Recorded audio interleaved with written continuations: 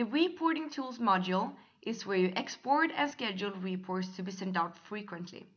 The option chosen in the upper section determines the data presented within the lower section, which is also your report.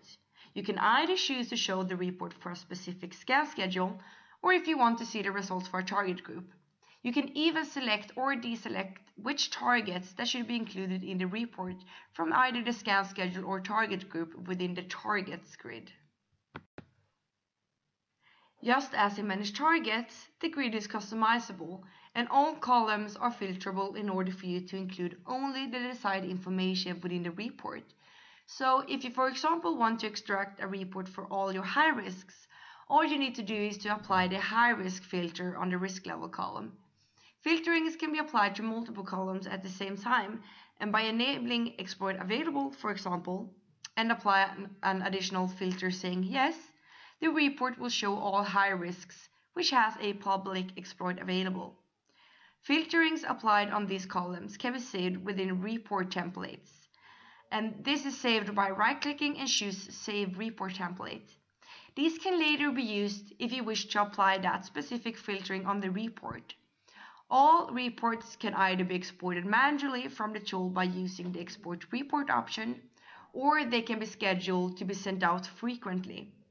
During the manual export, you can choose which format you want to export the report in, either PDF, XML, or Excel, or what level of reporting it should be, management, summary, or detailed.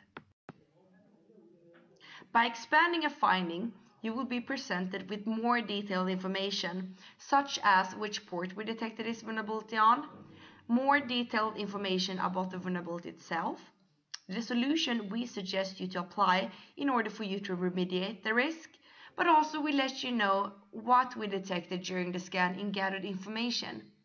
This information will make it easier for you to troubleshoot and to understand why this risk was reported. Marking something as a false positive can be done by right-clicking the finding, and by doing so, you're left with an additional option to report this false positive to Outpost 24 technical team. They will then begin an investigation to verify if Outpost 24 in any way could improve this check based on the reported false positive. As you can see, when right-clicking a finding, there are multiple other options such as request clarification.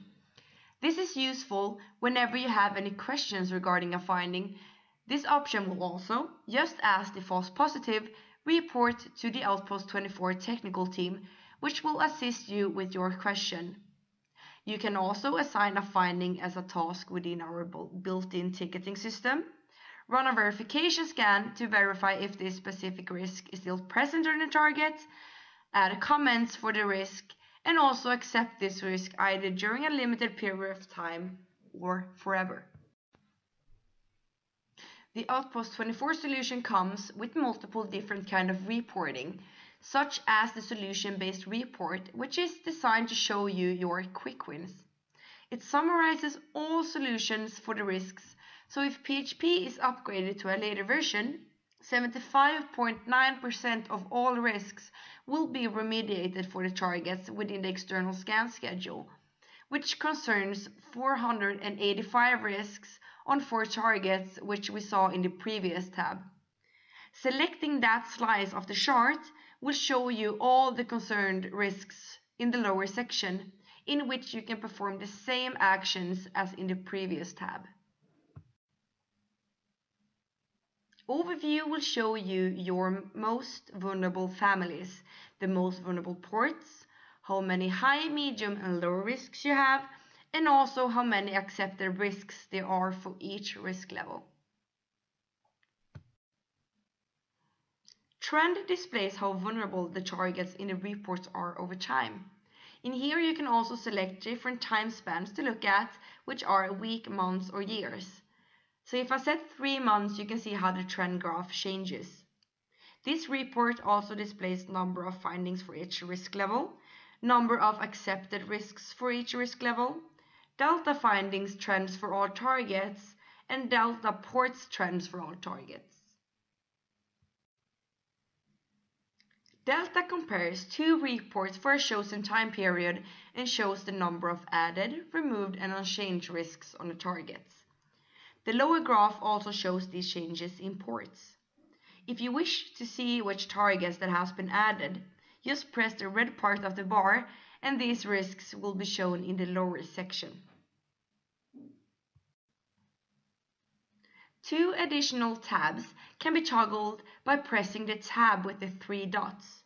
In these you can schedule your reports to be sent out frequently and also add any custom text to either at the beginning or at the end of the report.